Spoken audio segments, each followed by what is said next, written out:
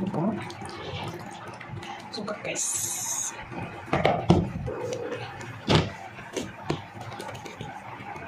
Tem pra mim, tá? Guys.